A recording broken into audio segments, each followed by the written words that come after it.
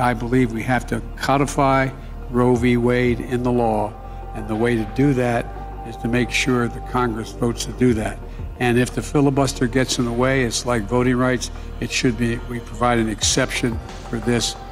The accept the require an exception to the filibuster for this action to deal with the Supreme Court decision.